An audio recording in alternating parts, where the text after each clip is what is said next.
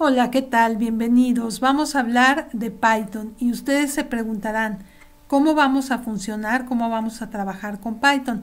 Bueno, en primer lugar vamos a entrar a la página python.org y vamos a descargar Python 392. En este caso sería Python para Windows, que es la máquina que yo tengo, pero se puede descargar para Mac, por ejemplo. Se descarga y se instala de la misma forma que se instala cualquier programa. Nada más hay que tener cuidado al instalar, marcar en la casillita donde dice path de camino para que quede enlazado el camino para buscar los paquetes. Eso lo vamos a ver en una actividad. Ahora, ya una vez que nosotros tenemos instalado Python, lo que vamos a escribir es idle, idle y eso nos va a llevar al idle de Python. El idle de Python tiene dos partes. Tiene el shell, bueno, lo abrí creo que dos veces. Tiene el shell, que es donde funciona como consola. Si yo pongo 2 más 2, enter, me dices que eso es 4. O si yo pongo 3 por 7, me dice que eso es 21, ¿no? Bueno, pero eh, se va perdiendo todo lo que hacemos. Entonces, para que no se pierda, hay que ponerle File, Open o New File, porque vamos a crear un archivo nuevo.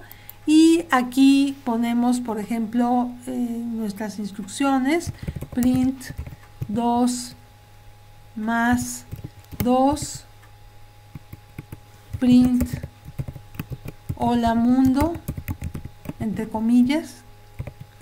Y para correrlo nos va a pedir que lo guardemos. Entonces le pongo run, run module, nos dice que lo debe de salvar primero. Entonces le voy a pedir que me lo guarde en esta carpeta donde tengo varios scripts. Entonces le voy a poner hola mundo y lo corre. Y entonces sale 2 más 2, 4 y hola mundo que fue lo que le pedí que escribiera. Bueno, este archivo lo podemos nosotros guardar, save, save as, guardar como, podemos cerrarlo, podemos abrirlo y podemos manipularlo todo lo que queramos sin que se pierda. Entonces esto es pues una gran ventaja para poder usar Python. Pero no es la única forma en que vamos a poder usar Python. La otra forma en que podemos usar Python es con el IDE Spider que está aquí, que igual podemos descargar e instalar. Entonces, eh, simplemente pues instalarlo para, en este caso yo lo instalaría para Windows y ustedes lo instalan para la máquina que les corresponda. Entonces se instala, simplemente hay que ir aquí a donde dice download y nos da download for Windows, en este caso porque mi computadora es Windows. ¿Qué va a pasar cuando ya lo tengamos instalado? Vamos a tener en esta ventana, podemos escribir Spider y abrimos la aplicación. Esta aplicación de Spider tiene la ventaja, y por eso la vamos a usar también, además del Little de Python, tiene la ventaja de que podemos ir corriendo instrucción por instrucción. Eso hace que Spider sea muy didáctico, muy cómodo. Aquí tenemos la ventana de Spider, donde tenemos un archivo que está abierto, pero que no tiene todavía nada. Y en la terminal no tenemos nada. Aquí en la parte superior vamos a poder obtener ayuda y eh, pues algunos elementos de lo que estamos corriendo. Entonces, si yo pongo, por ejemplo, aquí 2 más 2, la ventaja que tiene es que lo puedo correr con este botoncito negro. Puedo correr esa línea nada más y me da 4.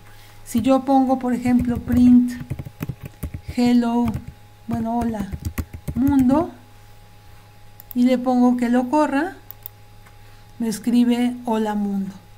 Si ponemos, por ejemplo, vamos a poner 3 más 5 más 3 por 8, perdón, 3 más 3 por 8 y lo corremos, tenemos 3 por 8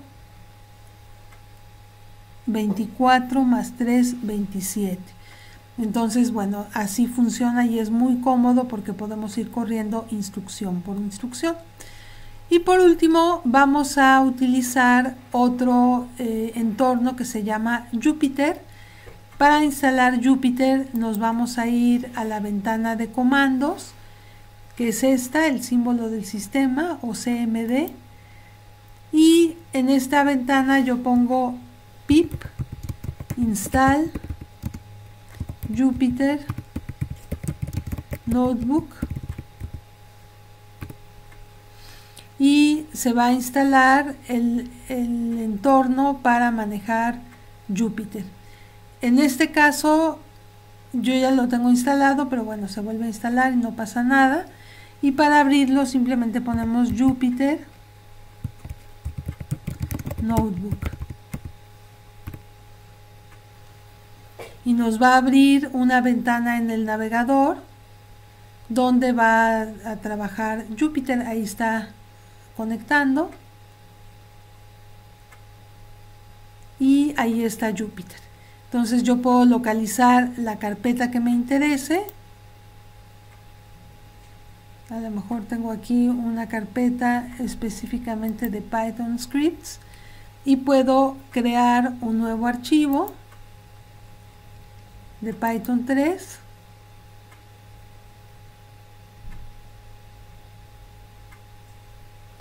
y en este caso en este archivo yo tengo la posibilidad de insertar texto. Por ejemplo puedo insertar este que dice markdown y entonces yo le puedo poner por ejemplo un gatito de que esto es un título. Prueba 1 con Python. Y puedo seguir escribiendo.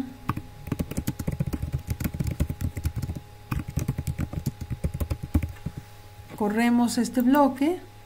Y luego podemos poner código. Podemos poner 2 más 2 run 4 podemos poner print. Hola mundo. Run y entonces nos va guardando tanto la parte escrita, que inclusive podemos poner eh, fórmulas con LaTeX, como la parte de código, como la parte de resultados. Y todo esto vamos a ver que lo podemos convertir a un archivo, que puede ser un archivo de LaTeX y que queda muy bonito, que queda muy bien, pues muy, muy bien presentado, ¿no? Eso sería todo. Gracias.